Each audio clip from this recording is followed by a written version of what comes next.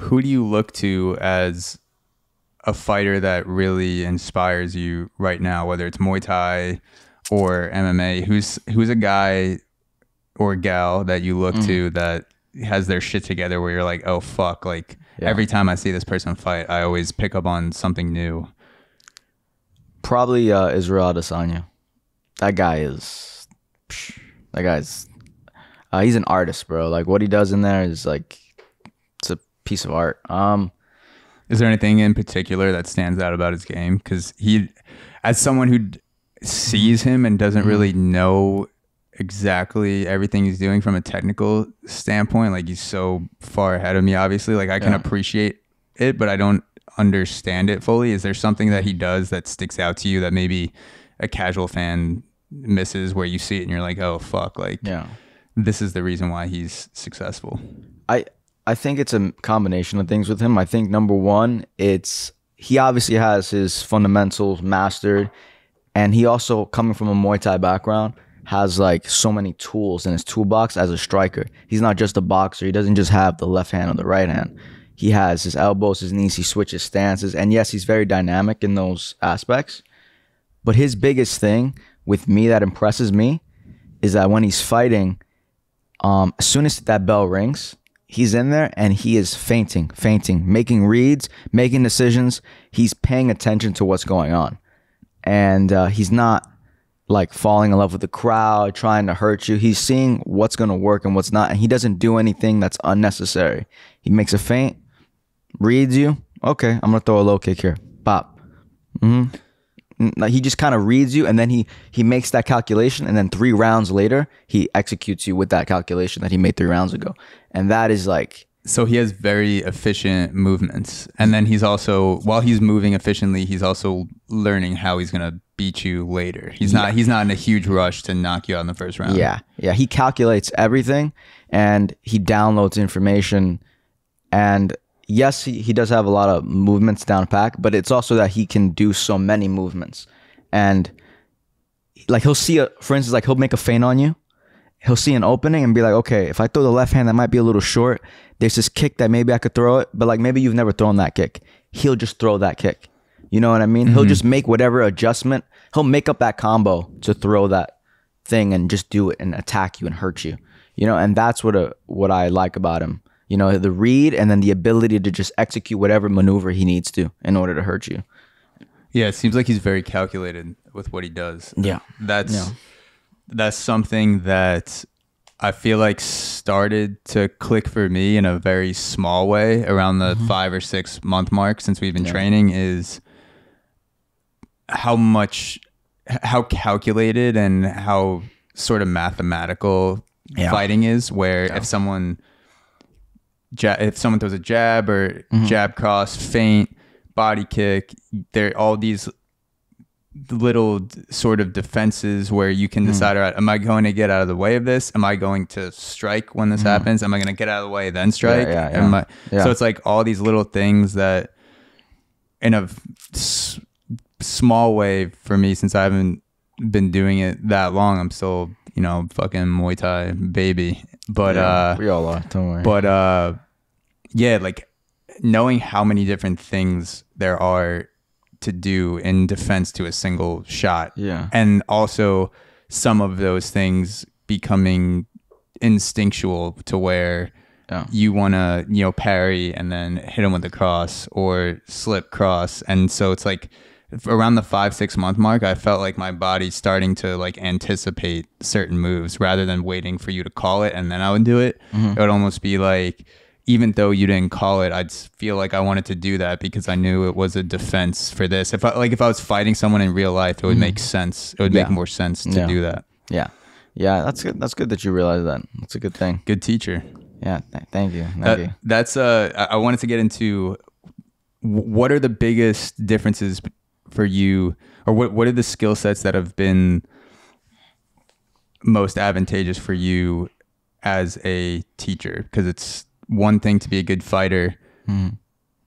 I know as a baseball player just because you can play baseball doesn't necessarily mean Yeah. you're a great teacher of Yeah. baseball what for you has made the difference being able to teach clients so well and be able to translate that knowledge that you have and the, the body movements that you have into people of all different backgrounds and athletic levels and different goals what what has been a difference maker for you for teaching that's made the biggest difference Um, I think the biggest thing has just been like um getting to the point probably. Taking out the nonsensical training. Taking that out and just telling you what it is you need to know. Um that's been the biggest thing. And I think that's why like a lot of trainers aren't good trainers is because um they don't know how to just get to the point of what you need to know. Um I might give you something. so there's a lot of nonsense that goes on Yeah. in fighting where people yeah. you may be teaching someone someone that something that they don't need to know Yeah. It's a lot of nonsense. A lot of like, like yeah, you got to throw this jab 800 times in a row, go up and down the room.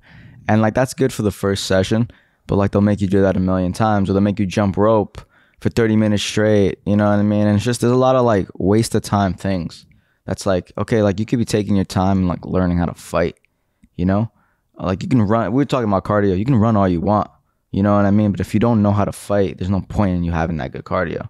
yeah So I, I, I think the main thing for me is just, or any trainer is to just get rid of like the nonsensical stuff and just teach you what you need to know. Like, you know, like if I throw a jab at you and I taught you how to throw a jab, like basically teach you like what leg you need to bounce off of, how you parry, block, slip, roll that. You know what I mean? Just all the stuff you need to know in order to counter that. Not not just like like this is how you throw a jab, but like I'm not gonna teach you how to set up how to throw that jab. You know what I mean? Yeah. Like doesn't make sense. You know, just just giving you what you need.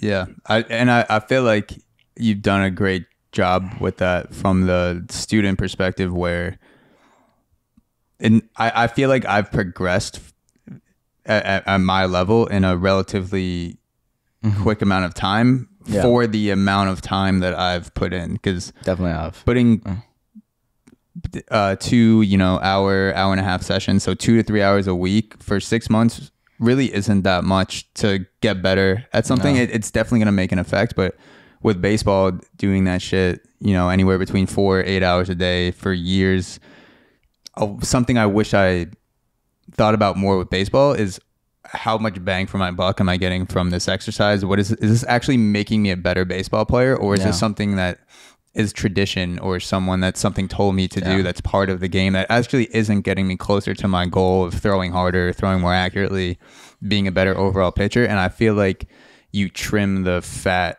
so well in terms of okay, this these are your goals Yeah. this is what's going to get you there faster. So let's do this. Let's Hmm. spar this amount. Let's let's do these combos. Let's do Yeah. this amount of cardio. Yeah. I feel like you've done a good job at trimming the fat.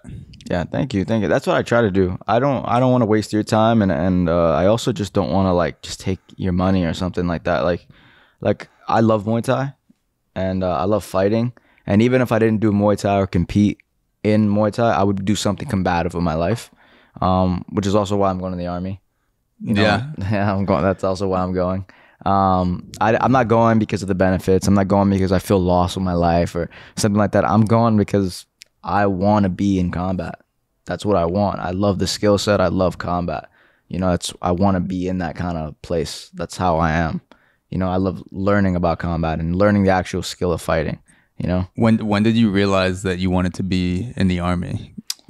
a long time ago. A long time. Well, I didn't know the army per se. I was still looking for the right. Some sort of combative experience. Yeah, so, something, something. Um, but uh, I just decided on the army infantry just because, like, I think definitely one day special forces might be a route that I'm I'm gonna attempt to go down.